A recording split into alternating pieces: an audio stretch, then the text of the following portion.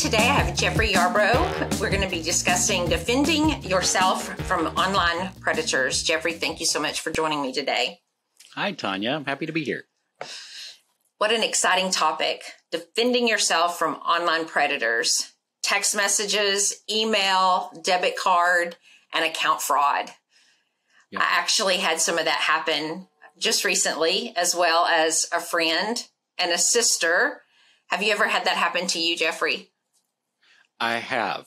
Uh, thankfully, not an extreme amount, but I have. But I actually just had a friend texted a couple of days ago, and they had their account hacked.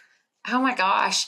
You know, it's so frequent in today's time. Um, I typed up an email just not too long ago, or I say it's an email. It was a, it could have been an email. It was so long and then I, I got rid of it, but it was a Facebook post. I was going to do an educational Facebook post yeah. that had a copy of an email that I received just to educate people on the various different things to look out for. I believe it was from Best Buy, but showing um, things that predators do when they send out a fraudulent email. But let's kind of educate our listeners today um, about the various different types of things that do happen. You know, one of the things that I get, I'm going to say on a daily basis, is a spam or a fraudulent text message. You know, you kind of yep. you kind of grinned, laugh. Do you get them too? Oh yeah yeah, those and emails. yes, I know. So, you know, I'll name off some of the ones that I get them from, and you can add to the list. But Amazon, you know, they have frozen my account until I click on the link that's in the text message. Or they uh, can't find your house and that needs to be delivered.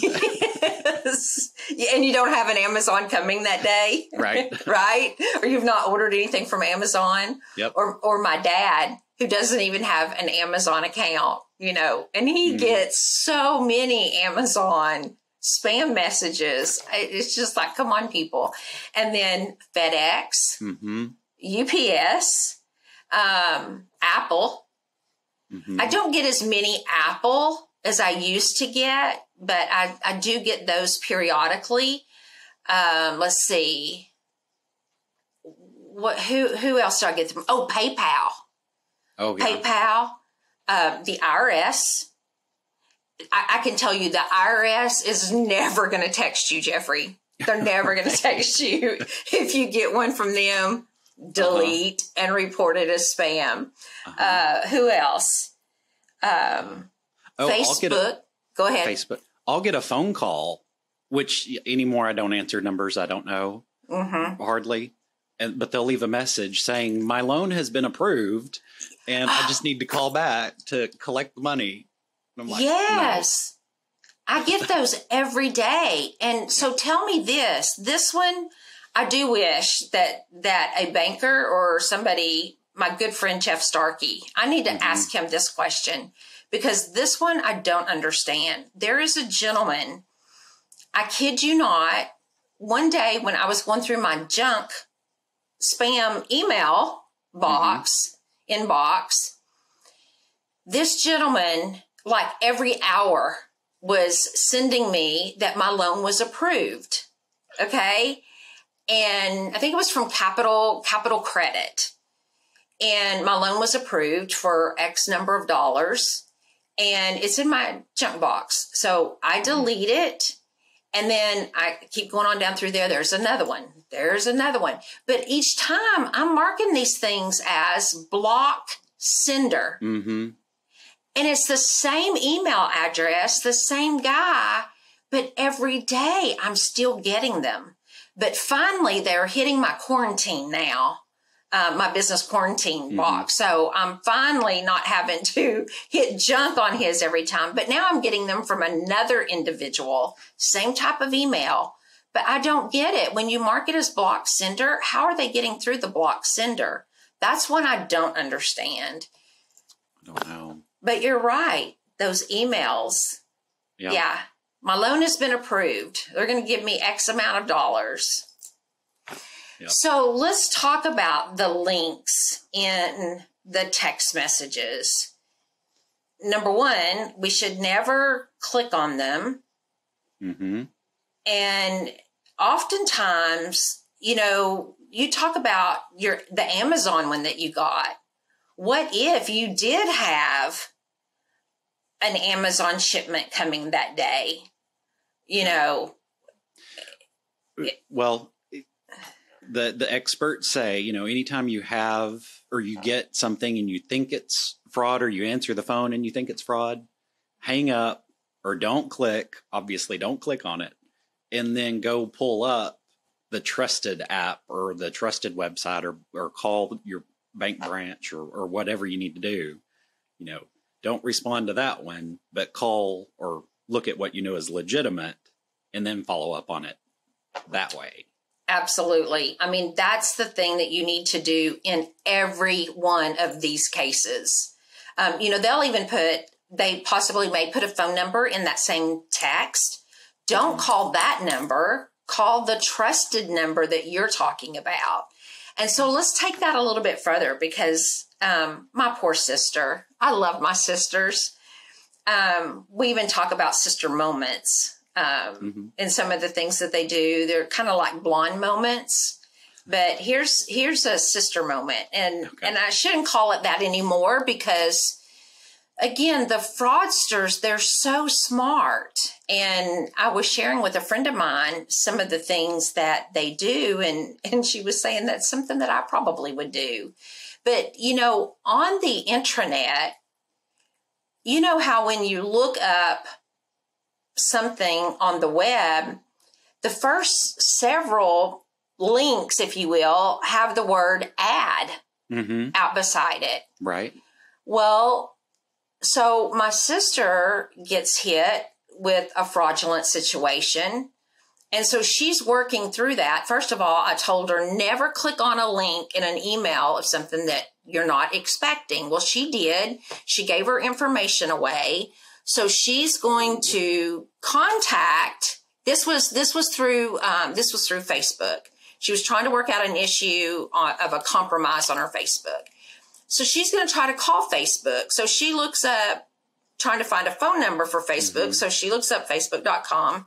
Well, there's ad out beside there. So she clicks on that. Well, who do you think that phone number went to? A fraudster. Oh no. So she calls that number, and what does she do? She gives her information out to oh. another fraudster. oh no. so she's compounded her problem. Yeah. And so when she calls me and she tells me, I've got it all taken care of, I've given my information, yada, yada, yada. And I said, Well, where did you, you know, the Facebook number is hard to find. Where did you find that? She said, I just looked it up on the internet and it was right there. And I'm like, uh, no, no. She said, yeah, it's just right there when you, when you click on facebook.com. Right. And I said, send me a picture of what you did. And she sent it to me and I circled ad and I sent it back to her. And I said, you never do that. Sure enough, I think it was $200 that she lost oh, on that no. deal. yes. Uh, yes. Yeah. It's, yeah. Any of these big companies like that, social media companies, they're going to make it hard to find a phone number yes. when they do online stuff. Oh. So I, I told her I could go out there and create an ad for Facebook. I can mm-hmm. create one for Apple. I can create one for Amazon and have those come to me and I can field questions all day long. But people don't know that. I mean, right. some people do, but some people don't. And they prey upon the people who don't. Mm-hmm. And so if you don't know that, don't ever, ever, ever use the information that's in an ad. It could be a legitimate ad, but I'm telling you, most of the time, it's not going to be a legitimate ad. So scroll down and look for the legitimate, real domain link for whomever it is that you're trying to contact. And That's so, very good point. Yeah. So, you know, late last night, I had an alert come through my phone. Didn't see it till this morning because I was asleep. And it was from Shazam, fraud alert. And so I immediately swiped and hit delete. It said it was a fraud alert from walmart.com and or from Shazam that a transaction mm-hmm. for $479.45 was you know used at walmart.com. So I immediately swiped, hit delete. Well, was going to hit delete, but I marked it as spam. Mm-hmm. And a few more messages down, Jeffery, I had um, my notifications from Encore Bank, who shows me, you know, at the end of every day what transactions are going to clear and so on and so forth. Well, there's another alert that says um, fraud alert. And it was the same message that I had gotten from Shazam that I had marked as a spam message. Yeah. So I was like, hmm, maybe I ought to contact Shazam and maybe I ought to contact Encore.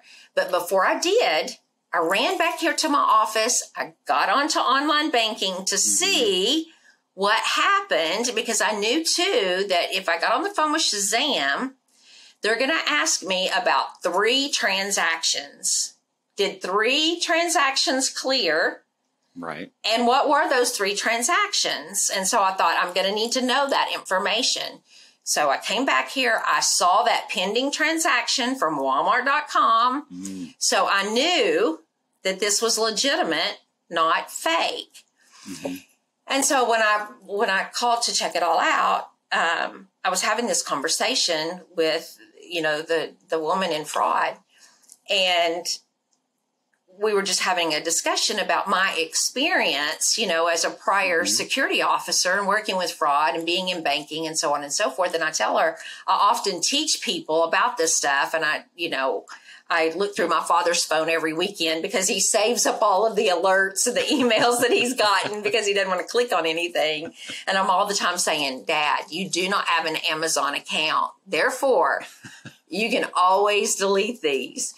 And so, um, anyway, she said, Can I add to your training? And I said, Oh, I would love that.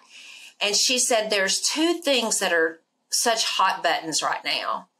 She said, Tell your people that Amazon, Google, Apple, Walmart, Best Buy, all of the big players. Oh, she said Nike she said the big players are never going to advertise on Facebook. They're never going to advertise their products on Facebook, especially a really good deal. you know, they're not yeah, going to advertise something for $2 and some odd cents. They're not going to do it. And so she said, but you cannot convince people that they're not. She said they mm-hmm. see Best Buy put something out there that's a really good deal and they they click on it and the next thing you know they've got all this spam, I mean all this fraud that has hit their account. And she said those are predators that mm-hmm. are out to get you know, these customers. And so she yep. said, let them know that so many advertisers out there today are fraud. And she said, I hate it for the ones that are out there really trying to make money. But she mm-hmm. said they need to know that the big players, the big players are not advertising there. And she said um, they need to read the reviews you know, look mm-hmm. at the reviews and make sure they've been verified, they're legitimate, and do their due diligence before they make purchases. And I said, that's such, you know, good feedback. I don't buy anything. I don't care if it is even on walmart.com or um, Abercrombie and Fitch. I don't, whoever it is. Yeah Best Buy, wherever, I'm reading reviews, both good and bad. I want to know before I make a decision to purchase something. So definitely read the reviews. The That's other point. It I've is. never even thought about that. That they they won't advertise on these other platforms. Yeah, they just don't do it. I, I told her. I said that's a good one because I'm the same way, Jeffery. I never thought about them not advertising on there either. Uh-uh. But she said that is that is a huge one today. Yeah. Is people are being scammed by what they think are the big players out Right. there. And you made a very good point a while ago when you said Amazon, you know, coming to your home or can't find your home. Because she said the other big one today is um, shipping charges with FedEx and UPS. She said FedEx is the biggest one, but she said that the predators today are waiting about one week after somebody has either shipped something or ordered something and they're sending communications either in text or emails and saying that they owe shipping either you know the the shipper Yeah. didn't put enough shipping on it and you owe the difference or when you shipped it out you didn't pay enough shipping and you owe the shipping and so people are just trusting that it's FedEx or UPS doing that corresponding and they're clicking on those links to pay that $2 shipping or dollar $1.96 mm. shipping or whatever. Yeah. She said the, the amounts are really small and people aren't thinking a thing about it Yeah. and they're doing it. That's And then very the- creative. It is very creative. And I must be cynical because I'm like, if it's real, they'll send me another two or three. you know, I'll pay it when it's past due. I'm that same way. I'm I that just don't trust it. I don't either. That's the way I am with emails. Like if I get something on my business, I'm really bad about it about my business because I'm like, mm, you know, I've been taught the IRS don't send things or, you know, they don't ask for things. And so if they real, if this is really real, I'll get like five. Right. yeah. or One they're or 2 gonna I'm just going to delete. yeah, or they're going to tell me that I'm going to have to pay this really large penalty or I'm going to end up in jail and then I'll start looking at it. right. yeah, I don't trust anybody. I really don't. Uh-uh. Um so yeah, I mean but they they are getting extremely creative. And Yes. so this next one I want to talk about Okay. is is probably one of the best I've heard in a long time. And this is a friend of mine. She going on about her day, working. She gets a call and they tell her that it's a gentleman and he says he's from the fraud department like Shazam Mm-hmm. from Bank of America and wants to know if she made two transactions. And he tells her the two transactions are from Africa and gives her the dollar amounts of them. Okay. And she says, No, I didn't do those transactions. And he said, Okay, well, let me do a report, a fraud report on those. So he pauses and acts like he's doing this report. Uh huh. And so she says that all seems legit. And so he then says, Well, can you tell me the last time you used your card? And she said, Yes, last night. And he said, And what was the amount of that? Mhm. And, and she said, 70 something dollars. I can't remember the exact amount. Hold on and I'll tell you. So she looks it up. Yep. She tells him $77 and some odd cents for Indian food. Yeah. Which that's a legitimate verification question. I mean, Yeah. the, the bank could ask that kind of question. right. Wow. But they started off with all of that before verifying who she was. Oh. the That's first questions were that's what i told her you know and so um I say that. I think that's what they did. I'd have to go back. I'd have to go back to verify that. But he, they did at some point verify her, um, some of her information. But what they did though was was they did not give her any information whatsoever. They were constantly asking her, what is your address? What is your phone number? What is your account number? Whereas, like, when I spoke to Shazam this morning, they asked me part of it, and then they gave me part of it and said, Is your, you know, apartment number still whatever? Mm-hmm. You know, so we were sharing back and exactly. forth, you know, so that I would know that they were who they were this no like and trust factor, they never presented her any of her information whatsoever, which I told her should have been a red flag. And she, yeah. and the more that they talked to her and the more that they were asking her hundred percent, she did get that belly gut feel. Mm-hmm. And, and she, but she got it when they said, what is your pin number to your card? And she said to no, them, no yeah, she said to them what it was, but then she said, This doesn't feel right. And so they justified why it didn't feel right. They said, Well, we can't see your PIN number. And so. Oh, goodness. They knew yeah, what they were doing. They knew what they were doing. And so we can't see your PIN number but they justified to her the reasons why they were asking her, you know, these questions. And I said, look, they they know the banks know way more information than what people give them credit for knowing. Yeah. And so and while they may not know the pin number, they can override that and do what they need to do on the bank side to do what they need to do.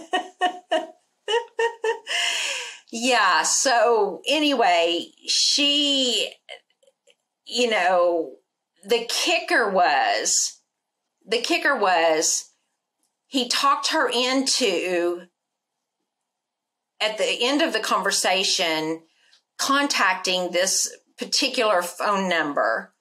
And it was like asterisk, asterisk, asterisk, number, pound. And that's odd to contact somebody. Well, what that did was it forwarded her cell phone to them, to him. What? Well, once she, yes, once she forwarded her phone during this process, she could not make, I mean, she was able to contact the police, but when the police went to call her back, nothing. She yeah. she couldn't get any calls back. They were all going to them. And so the police even made a visit out to her home because they couldn't get a hold of her after she made the report. And so crazy. It was crazy. She said, I'm telling you what, I learned the biggest lesson through all this. No, she didn't lose a lot of money, did she? She I did mean, not thankfully Good. she didn't lose a lot of money because she was able to contact the bank. She just when it was too late, yeah. she knew she had done wrong when it was too late. Yeah. Because again, they never gave her any information. When they mm-hmm. asked her for her pin and she gave it to them, and then she said something about this just doesn't feel right. And she made a comment about another card that she used. Mm-hmm. They said, Well, what card was that? And she mentioned the card, and they said, Oh, well, let's see if there's fraud on that card too. And they acted like they were looking it up. Hmm. And and so anyway, she said, Tonya, I fell hook, line, and sinker. She gave them those card numbers, the pin numbers. She gave them way too much information, but she knew, she knew that she had fallen yeah. in right into their hands. And so yeah. she then, you know, called the police, she called the bank, shut it all down. And, but now they know, they know all of her information. She's going to have to change a lot of stuff. I mean, yeah. she gave them mother's maiden name, spelled it for them. She gave them everything. And so, you know, I told her, now you've got a concern with identity theft. Mm-hmm. And so, um, yeah, it's, I mean, you just have to be so careful about clicking on links, answering questions. And I told her a lot of the questions that he asked. Number one, if Bank of America Fraud Department called you, they do not have access to other banks. She she knew that. She just had fallen prey yeah. to you them and anxieties going. Yeah. You're like, oh my gosh, what have they got? And you just it's it's hard to to think straight sometimes. Right. With that kind of stuff. Right. You know? Yeah, she just fell into the fell right into their lap and they had her. And yeah. um, it could happen to anybody. It could happen mm-hmm. to anybody. Because my sister, she really was the same way. She said, you know, they sounded like they were intelligent. And I said, mm-hmm. they are. They're very yeah. intelligent in their field. Yeah. And that's what these people specialize at. They're professionals at it. They are professionals at it. And it kind of goes, it kind of goes back to, um, I'll say this and I, I want to open it up to you and and let you provide feedback but it goes back to that letter that i got you know in that email that i mentioned you know going mm-hmm. back and even looking at who sent it who sent the text i even sometimes get those text messages and they're in a group the email that i got it come from a gmail i mean best buy it may have best buy's letterhead at the top or their logo but coming from a gmail that's not best buy Mm-hmm. And so you have to look at everything. Is there grammar errors? You know, are things cut and cut and paste and put in there? Um, does your bank talk to you the way this person's talking to you? Um, is the IRS asking you for things that the IRS doesn't have information to? You know, it, we we really just have to stop and think who is on the other end of whatever it is that we're looking at and start asking yourself questions mm-hmm. about what's going on and and am i falling prey to something that should not be happening right now and anytime there's one red flag there's going to be more red flags and there's nothing wrong with cutting that person off and calling someone back the no. calling the real person like calling the bank, your real bank, and saying, I just had a phone call from somebody that said they were from the bank. Did somebody there really call me? Mm-hmm. Um, there's nothing wrong with that. No. And you mentioned, you know, even them asking questions like, what's your address or whatnot.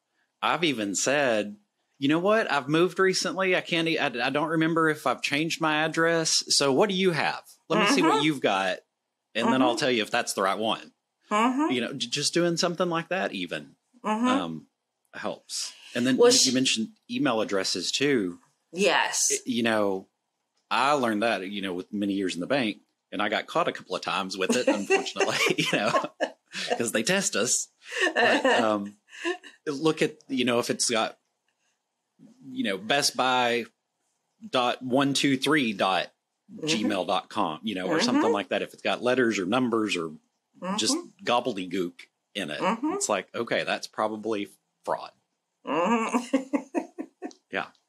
That's or, got me a couple of times. Or even the link that they're sending you to click on. What what the heck is in that link? Look at the link to see what the link says. Yes. I mean, yeah.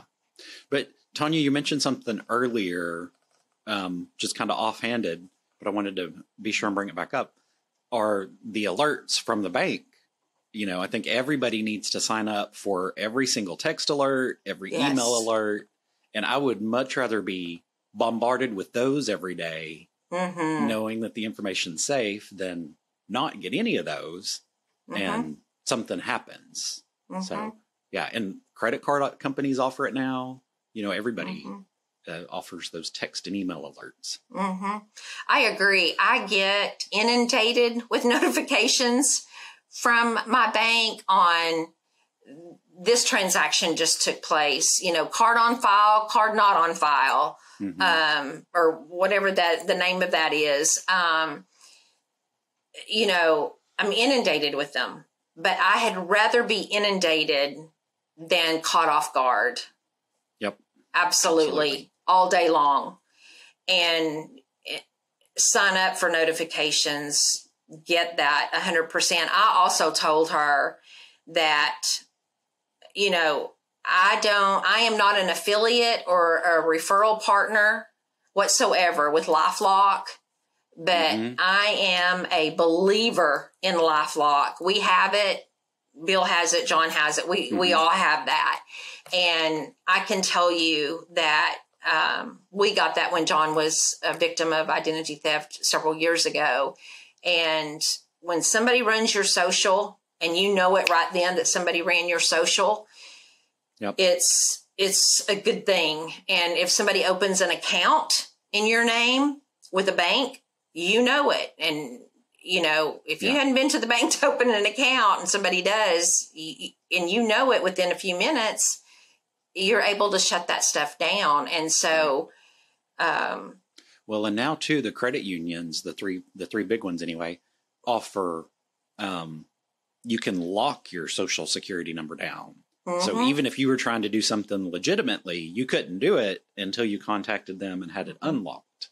Mhm. Which yeah, and and you can do that through LifeLock as well. And oh, good, yeah, yeah, absolutely, I like that.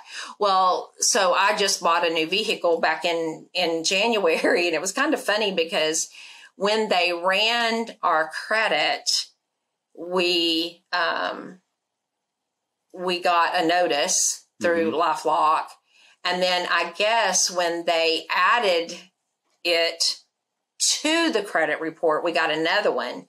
Well, the minute I saw that alert pop up, I was like, "Oh my goodness, I'm I'm on this," you know. Got like- fired up. I got fired up because I was like, "Oh my gosh, somebody just ran my credit, and I'm right here working, and I didn't do it." And so I sent Bill a text. I either sent him a text or I called him, and I said, "Somebody just ran my credit," and uh, he said, calm, "He was like, calm down. It was probably the dealership, you know." Running the Mhm. credit. And I was like, they've already run our credit. It can't be that. He said, I just got the same notice. And so then I was like, oh, okay. And so when I called it up, I logged into both mine and his and cleared the notification. And um, that's what it was. They had just posted it to the Mm. credit report, but it was, you know, it was several days later. But, but at least you know, yes, you know, at least Yeah, you at least know. And so, but Yeah. you know, the big thing is, is just don't, don't fall prey to, to what those No. people are, you know, trying to do. Well, another type that I wanted to to bring up too, not to run too long here, but um, the romance scams with like dating apps and stuff. From again, having been in banking for so many years, and you talk to people who get scammed out of their money because oh, they're, they're in love with so and so from eh, you know Alaska, and they've never met them before, but oh, they're so in love, you know. And it's like, really?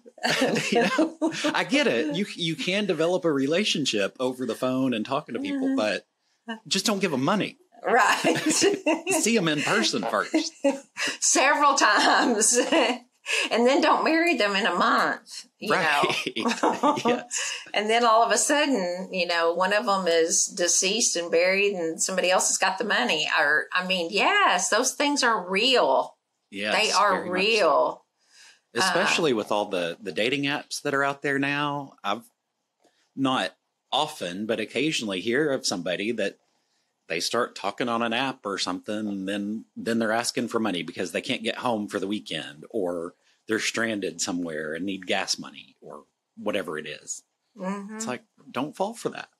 Hmm It's it is. It's it's scary.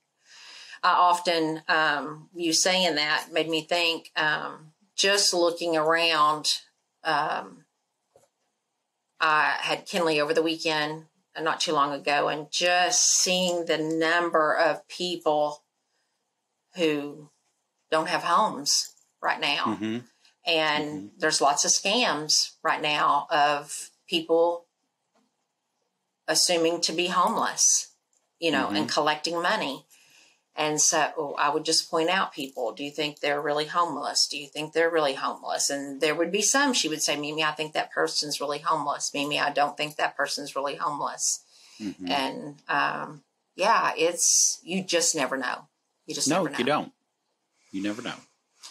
So, wow. Well, so I really appreciate you coming on and and helping me share. I get passionate about this stuff because even even for me, I I have I was looking last night on I, I, probably shouldn't even say this because somebody may hear this that have sent me a, a Facebook request or a LinkedIn request. I have there's 30 something requests that I have in LinkedIn mm-hmm. right now that I have not accepted. And in Facebook, it's much longer than that. but I do due diligence. I probably delete as many requests as I accept, sure. or I may delete more than I accept because yeah. there are so many. You don't know bad ones out there. I'm not talking about bad people. I'm talking about bad accounts right. that are out there. And there are so many that, like in Facebook right now, I have the same person account three and four times. And I'm like, did this person get scammed mm-hmm. and they've recreated? Or is this for fraudsters trying to perpetrate this person. Mm-hmm. And um, if people's profiles are not either public or they don't post to where there are some things that are public and I can see them, and they don't have, if they don't have at least 700 friends, yeah, they're not getting through my ecosystem. Yeah. I'm sorry. I know. I, I seem to get a lot more of those on Instagram than I do Facebook. But yeah, it's like it's somebody that were the account's like a week old and they have yes. 200 friends and there's one picture. Yeah. And, yeah. No. no. And, and, and so I would say that, you know, probably in ending this is mm-hmm. Facebook fraud, Instagram fraud, LinkedIn fraud, any type of social media is is just another thing to to look out for because there are mm-hmm. predators there just like um, I do not even answer Instagram messages because it is nothing but filled with perverts well, saying, I love your picture. will you connect with me so we can build a relationship? I'm like, delete. No, no. Don't um, even message me. Too with social media and made me think. Um, I was reading an, an article earlier about social media fraud and how a lot of those quizzes that they put out on social media are actually scammers just collecting data, you know, because it's like, what was your, you know, post pictures of what your favorite pet was, you know, and what was their name or mm. stuff that that's like you just think you're doing this innocent game or a get to know you kind of thing on social media when really it's it could be not all the time, you know, some of it is just innocent fun, but some of it are those scammers that then they've got your data from a security breach and then they link stuff together and mm. it's again is, they're professionals at it they are. That's that's really good to know because I actually in my business I've wanted to do some um, content gathering mm-hmm. information through um, Q and A and quiz type mm-hmm. uh, questioning to my audiences, and so that may make me second guess doing that or only sending it to a certain group um, because you know you can tag certain groups through uh, social media platforms. Mm-hmm. but ugh, um, yeah i may have to do some more research into that because i sure do not want to come across as some type of perpetrator. But you know obviously i wouldn't use it for that but sure but I agree that there are some some strange things out there like that, and I don't participate in those. I do not participate in those, and I do not. And this is another thing I've tried to put out there: do not copy and paste things. When you read these things, and it says now copy and paste this and put it on your wall, and ask somebody to copy and paste it. That's just yeah. another way to get yourself um, fraudulently taken advantage of because yep. the fraudsters start that mess. And so during that copy and paste, it, it is a um, I can't remember what they call that, but there is a um, a link of some sort that's yeah. embedded into that that's gathering yeah. your information. Well, they could have um, specific hashtags that then they track those hashtags and go, you know, track everybody who's mm-hmm. reposted it or something like mm-hmm. that. Yeah. So hopefully we've scared the weebie jeebies out of you. All of our listeners. yeah. In a good way. In a good in way. a good way. in a good way. That's what Kinley always says. I'll say, Kinley, I'm not trying to scare you, but and I'll tell her something and she'll say, Mimi, you just said I'm not trying to scare you, but you just scared me to death. so I don't mean it that way. We hope that we have educated you and taught you some ways that you can be careful out there in the social media world as well as the digital world. And if you have not already subscribed to the Influence and Growth Mastery podcast, please do so. And I know that I have failed to introduce myself. I introduced Jeffery, but I'm Tonya Gossage with Influence and Growth Mastery podcast. And until next week, I have enjoyed being with you, Jeffery. I've Thank enjoyed, so I have enjoyed having you on. We need to do this more often because yes, I know there are a plethora of topics that we can discuss. But thank you so much Definitely. for, for being here with me. It's been my pleasure. Thank you. All right. Until next week, everyone have a great week. Bye.